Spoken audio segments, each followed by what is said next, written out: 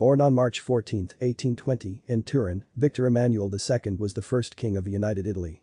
His reign lasted from 1861 until his death in 1878 and marked a turning point in Italian history. He was a beloved figure who managed to unite the various Italian states into a single nation and became known as the father of Italian unity. Victor Emmanuel II was born into the royal family of the House of Savoy.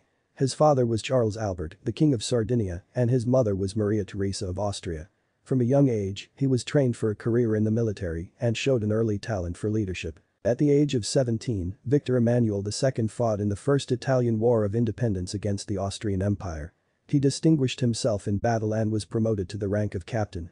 However, the war ended in defeat for Italy and Victor Emmanuel II was forced to flee to France. After several years in exile, Victor Emmanuel II returned to Italy and became involved in politics.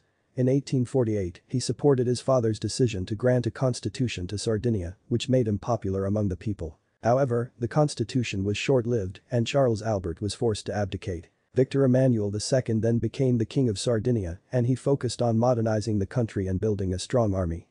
He also began working towards the unification of Italy, which he saw as his life's mission. Victor Emmanuel II's greatest achievement was the unification of Italy. At the time, Italy was divided into several independent states, each with its own ruler. Victor Emmanuel II was determined to unite these states into a single nation and to make himself its king. He began by forming alliances with other Italian states and with foreign powers such as France and Britain. He also led his army in a series of wars against Austria, which controlled much of northern Italy. In 1860, the Kingdom of Sardinia annexed the Kingdom of the Two Sicilies, which was the largest and wealthiest of the southern Italian states. This was a major step towards unification, and it made Victor Emmanuel II the ruler of a much larger and more powerful kingdom. The final step towards unification came in 1861 when the Kingdom of Italy was declared, with Victor Emmanuel II as its king. The new kingdom included most of Italy, with the exception of Rome and Venice, which were still controlled by foreign powers. Victor Emmanuel II's reign as King of Italy was marked by many successes, but it was also a time of great challenges. He faced opposition from conservatives who wanted to maintain the power of the old aristocracy and from radicals who wanted to push for more social and political reforms. Despite these challenges, Victor Emmanuel II remained popular with the Italian people.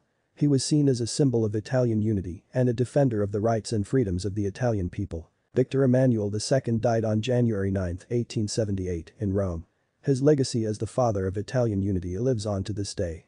He is remembered as a great statesman who worked tirelessly to unite Italy and to create a strong and prosperous nation. His contributions to Italian history and his unwavering commitment to the cause of Italian unity make him a figure of great importance and respect.